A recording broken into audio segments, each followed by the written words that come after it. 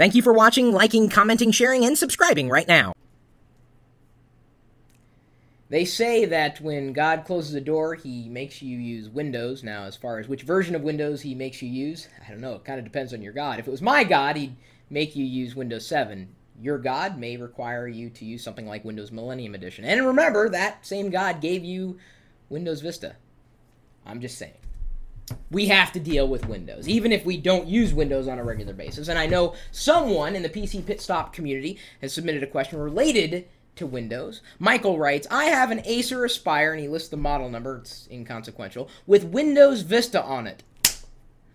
That's that's what you're supposed to do. Every time you say Windows Vista, you're supposed to smack your forehead. That's just a that's a new thing, by the way. I don't know if you caught that at all. Did you guys catch that?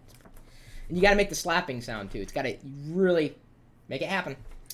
It is, is it possible to change this to Windows XP Pro? If so, uh, how do I do it? Uh, I know the operating system is burnt into the HDD, so I know I'll have to change the HDD, but what else can I do to get it to run properly on Windows XP Pro? Many thanks, Michael.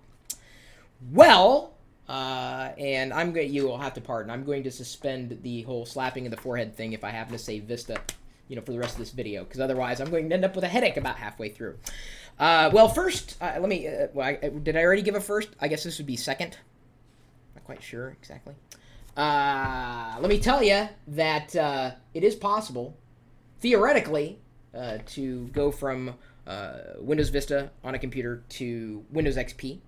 However, that being said, uh, where you may run into snags is related to drivers. That would be the software that allows the hardware to work with the operating system. And uh, unfortunately, some of the drivers may only be Windows Vista compatible. And so moving back to XP would be nothing short of impossible. At least if you want to be able to use the same hardware uh, that you were using when you were on uh, Windows Vista. And uh, to uh, alleviate the concern, uh, the operating system uh, may be sitting on the HDD, that would be the hard disk drive, the drive, you know, your drive space.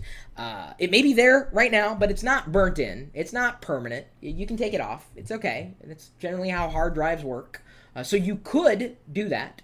Uh, and you know have have fun in, in doing that. There there is also a possibility, but I'm not going to go into the details as to how to do that. I'll turn it back over to the community to go and install Windows XP, whichever version you want, home or professional, on that computer. See how well it works. Then you can go and install Windows Vista on the same computer and do what they call dual booting between the two.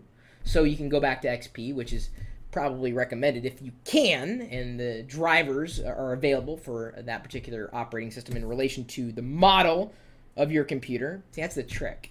A lot of the computer manufacturers, um, you know, kind of make things difficult sometimes for users, which is a huge frustration, which you're obviously running into. So theoretically, yes, you can do it, but practically, you may want to check with the uh, device manufacturers to see if they have drivers available for Windows XP uh, versus uh, you know Windows Vista.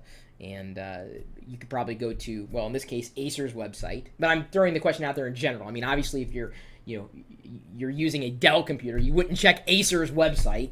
I mean, there's not much logic in that. I mean, you could do it. It's just not going to get you anywhere because it's not your computer. So uh, there, there you go. It is possible to do it, but just watch out for the drivers. That's what's uh, that's what's going to hurt you the most. Just FYI. My email address, chris at Pirillo.com. And I apologize for slapping my forehead earlier in this video. It's just something that I do and had to stop doing because I knew that I had to make it through this entire video. If you'd uh, like to join me and the rest of the community, uh, tech experts who are usually less silly than I am, uh, you, are more than welcome to join us. Geeks.pirillo.com. And then, of course, we've got this uh, live video feed with the chat room here. And uh, we're doing things.